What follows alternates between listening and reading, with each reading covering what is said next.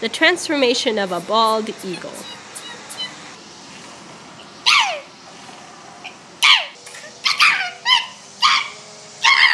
Click like. Yeah, like this video and